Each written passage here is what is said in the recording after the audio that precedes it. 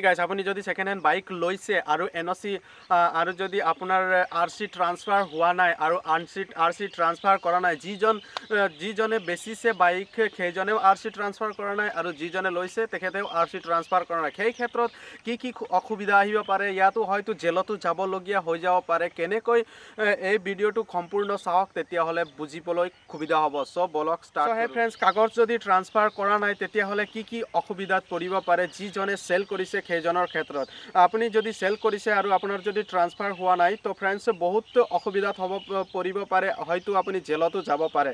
কিয়নো চাওক আপোনাৰ বাইকটো লৈ যদি কিবা বেয়া বেয়া কামত ব্যৱহাৰ কৰে আৰু বেয়া কামত ব্যৱহাৰ কৰোঁতে পুলিচে ধৰে তো পুলিচে ধৰাৰ পিছত কাৰ নামত এণ্ট্ৰি হৈ আছে কাৰ নামত ৰেজিষ্ট্ৰেশ্যন হৈ আছে বাইক বা গাড়ীখন সেইটো চাব চোৱাৰ পিছত চিধা চিধি আপুনি গম নোপোৱাকৈ আপুনি কি কাণ্ড কৰিছে সেই কাণ্ডটো গম নোপোৱাকৈ চিধা আপোনাক পুলিচে এৰেষ্ট কৰিব।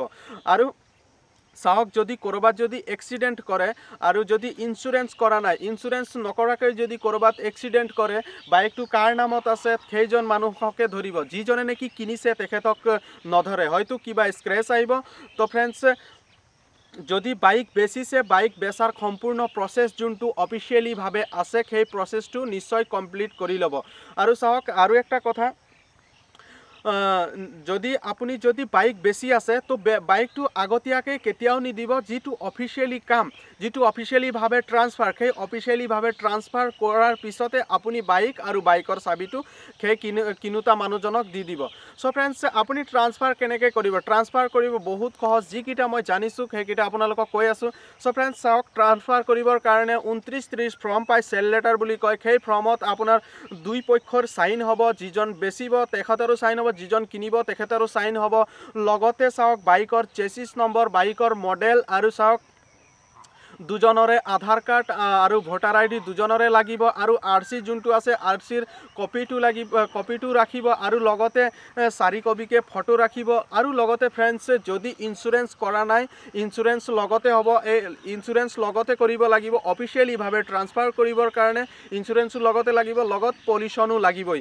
তো ফ্ৰেণ্ডছ এইকেইটা সকলো সম্পূৰ্ণ কৰাৰ পিছত আপুনি আৰ টি অ' অফিচত গৈ ট্ৰান্সফাৰ কৰাৰ পিছতহে আপুনি যি যিজনক বেচিব বাইকটো সেই সেই ৰুলছ অনুযায়ী সেইজনক চাবি আৰু বাইক তেতিয়াহে দিব। যেতিয়ালৈকে ট্ৰান্সফাৰ নহয় তেতিয়ালৈকে আপুনি বাইক দিয়াৰ ভুলটো কেতিয়াও নকৰিব।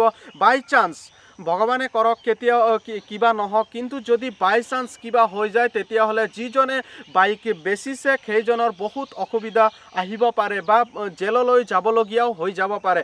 যদি আপুনি দলিলত চাইন কৰি মাত্ৰ বাইক বেচিছে সেইটো কোনো মাইনে নাৰাখে সেইটো পুলিচেও নামানে কোৰ্টেও নামানে। তো ফ্ৰেণ্ডছ আৰু একটা কথা যদি বেলেগ জেগাৰ পৰা আপুনি বাইক কিনি আনিছে লগতে আপোনাৰ যোনটো N O' C N O' চিটো clear কৰিয়ে আনিব তেতিয়া আপোনাৰ ট্ৰান্সফাৰটো হৈ যাব।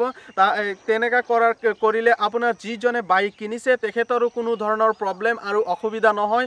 আৰু যিজন লোকে বাইক বেচিছে তেখেতৰো কোনো অসুবিধা নহয়। তো ফ্ৰেণ্ডছ আপুনি যদি কাগজ পত্ৰ ক্লিয়াৰ নকৰে তেতিয়াহ'লে বাইক কেতিয়াও নিদিব।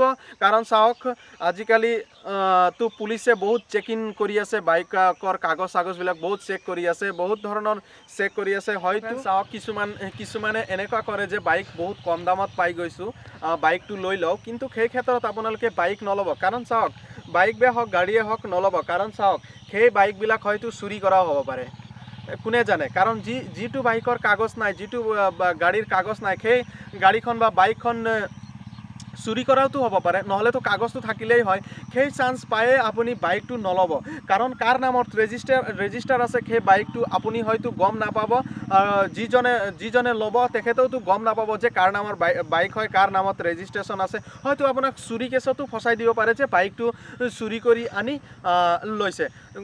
সেই ক্ষেত্ৰত কৈছোঁ যে বাইকৰ কাগজ পাতি অ'কে নোহোৱাকৈ আপুনি বাইক নল'ব।